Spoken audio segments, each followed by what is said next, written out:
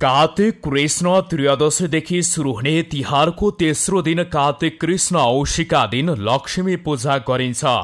यम पञ्चकको तेस्रो दिन बिहिबार घर कार्यालयमा लक्ष्मीको पूजा आराधना गरी लक्ष्मी भित्राइएको छ। लक्ष्मी पूजा गरिने कार्तिक कृष्ण औषीको रातलाई सुखरात्रि पनि भनिन्छ। लक्ष्मी पूजाको दिन साँझ आँगनदेखि मूल ढोका हुँदै पूजा गर्ने कोठासम्म गाईको गोबर र रातो माटोले लेतपोत गरी चामलको पिठो र अभिरले लक्ष्मीको पाइला बनाई लक्ष्मीको स्वागत गरिन्छ। लक्ष्मी पूजाको दिन पूजा कोठामा दियो कलश र गणेशसहित लक्ष्मी स्थापना गरी फलफुल सेलरोटी फुलमाला चढाई आफूसँग भएका गर गहना पैसाको पनि विधिपूर्वक पूजा गर्ने चलन छ। घर सफा सुग्घर गरेर धन धान्यकी देवी लक्ष्मीको पूजा गर्नाले घरमा लक्ष्मीले बास गर्ने धार्मिक विश्वास छ। सतयुगमा वामन अवतरले विष्णुले तीन पाउ भूमि माग्दा दानवराज बलिले भगवानलाई सन्तुष्टि पारी दानवीरको अनुपम उदाहरण प्रस्तुत गर्दै जुन घरमा यम पञ्चकमा दीपावली गरिन्छ त्यहाँ लक्ष्मीले सदा बास गरून् भन्ने वर मागेकाले त्यस दिनदेखि लक्ष्मीको पूजाको महिमा सुरु भएको धार्मिक विश्वास रहिआएको छ। साँझ दीपावली गरिसकेपछि लक्ष्मी थापेर गर गहना पैसा धान चामल फलफुल रोटी र फुलमाला चढाई लक्ष्मीको मूर्ति वा तस्बिरमा पूजा गरिन्छ। यसरी पूजा गर्दा लक्ष्मीको प्रिय फल नरिवल चढाउने गरिन्छ। नरिवल चढाउनाले ऐश्वर्य प्राप्ति हुने जनविश्वास छ। लक्ष्मीको पूजा गर्दा मध्यरात गर्नु उपयुक्त मानिन्छ। धनकी देवी लक्ष्मीको पूजा आर्जना सहित गर्ने विधि कस्तो छ त?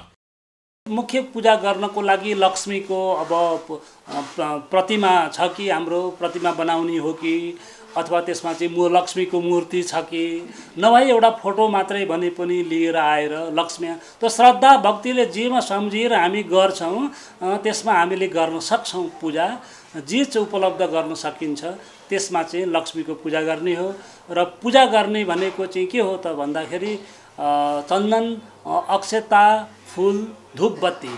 अनिवार्य यति चिज भए अलि सकिन्छ भनेदेखि आसन पाद्यम अर्घम आचमनिम पुन्द्राचमनिम शुद्धोदक स्नानम शुद्ध दलदानम पञ्चामृत स्नानम होइन?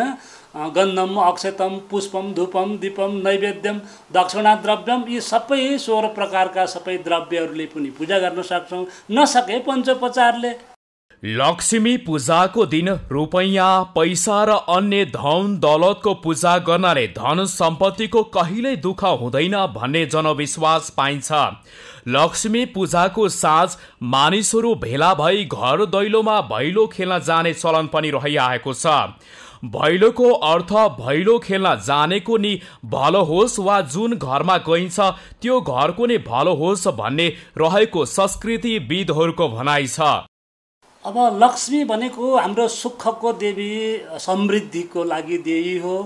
अब पैसा नभइकन त केही पनि कुरा हुँदैन। जुन घरमा लक्ष्मीको बास हुन्छ त्यहाँ चाहिँ के भनेको छ चण्डीमा पनि भनेदेखि याश्री स्वयं सुकृतिनम भवने सलक्ष्मी पापात्मनम कृतदेयम हृदयेश बुद्धि। जो सज्जनहरू छन् होइन जो सन्तहरू छन् जो सज्जनहरू छन् जो सत्कर्महरू गर्नेवाला छन् अब तिनीहरूकोमा चाहिँ लक्ष्मीको रूपले बास हुन्छ। जो असत् कर्म गर्नेहरू चाहिँ त्यहाँ अलक्ष्मीको बास हुन्छ। होइन? त्यसो हुनाले चाहिँ यसमा चाहिँ लक्ष्मीको पूजा नै मुख्य गरिन्छ र साँझमा चाहिँ पहिले दिपा दीपावली गरेर दिपमालिकाहरू गरेर अब त्यसपछि लक्ष्मीको पूजा गर्ने र जसरी सकिन्छ अब लक्ष्मीको पूजा षोडशोपचारले पनि पूजा गर्न सके षोडशोपचारले गर्ने नसके पञ्चोपचारले गर्ने चन्दन अक्षता फुल धुपबत्ती यति मात्रै भए पनि। भगवान्लाई त के हो त भन्दा भावना र भक्तिले पूजा गर्यो भनेदेखि पुग्यो। लक्ष्मी उज्यालोमा रमाउने हुँदा लक्ष्मी पूजाको दिन सहर बजार गाउँ झिलिमिली बनाई लक्ष्मी पूजा गरिन्छ।